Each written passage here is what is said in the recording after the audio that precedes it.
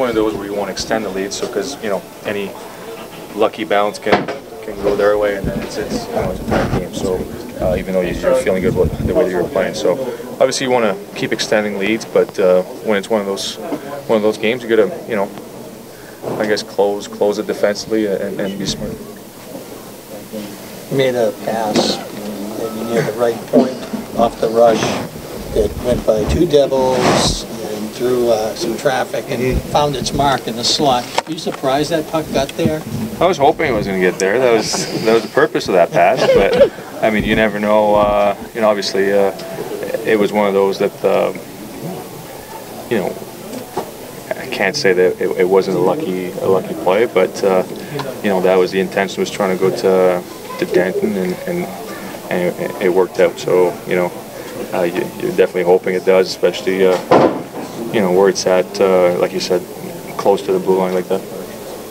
Calgary, Calgary uh, retired Jarome Iginla's number tonight. Uh, what are your thoughts on that? I mean, I've always been impressed with uh, with him as a player. Before I, I got to know him, the way that he competes, the way that he um, carried himself uh, on and off the ice as a role model for, for every kid that wants to play hockey. And once I got a chance to play with him, it was uh, it was a pleasure. You know, he's, uh, he's a, a, true gentleman and, and, an amazing player, amazing leader and teammate, and uh, can't say enough about him as a player as well. So uh, his competitive level is is second to none, and you know it's well deserved for him. Back in the day, when you guys could roll four lean on a team and become greater than the sum of your parts. Mm -hmm.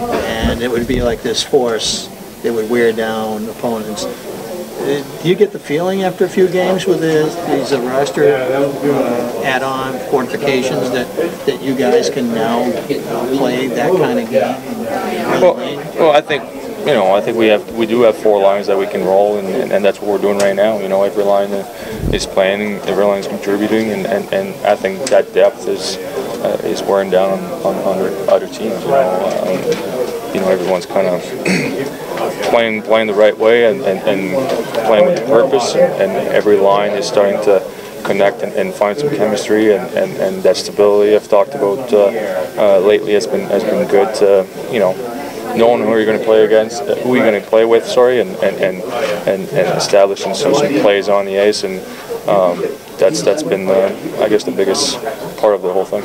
And the power play has been so important for your through this to this point in the year. It's amazing the record you guys have pulled up, being so dependent on it. It doesn't seem like now you have to have that in order to win. Yeah, it seems like um, you know you play a team like Tampa. That's what the you know their their power play is pretty. Uh, very lethal as well. And so there's a lot of teams that are doing that, and yeah, I think it seems like the. Um, uh, I, I'll go both ways. I think even the penalty kill, you know, the special teams are, are really really important right now, and, and, and keys to to, to winning uh, and, and sometimes a difference in games like tonight.